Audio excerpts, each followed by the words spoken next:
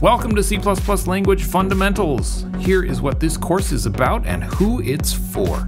You, the viewer, want to learn how to write apps or plugins, possibly audio related, and know that C++ is the right tool for the job. You also want to get some help to get up to speed as quickly as possible. And you don't know where to start, or perhaps you started in the past, but you got lost and you didn't make any real progress which in the end was very demotivating. This course solves those problems in three ways. Number one, it teaches C from scratch, knowing that your end goal is to be able to create high performance software. Number two, you have access to an expert C audio developer who will guide you through learning the language and help you when you get stuck. Number three, the course features nine coding projects which will guide you through learning the language in the fastest, most effective way possible to get you to your end goal as quickly as possible. Here is how C++ Language Fundamentals accomplishes this. There are over 30 video lessons. Most video lessons have an associated project part.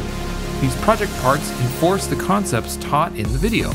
You will write, compile, and run all of the code for these projects on a website called replit.com. Replit is an online integrated development environment, or IDE, just like Xcode or Visual Studio.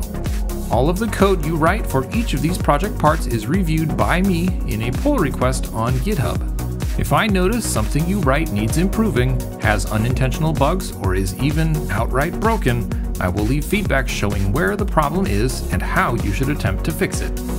In addition to the feedback you will receive in your pull requests, you can message me with any questions in a private Slack workspace.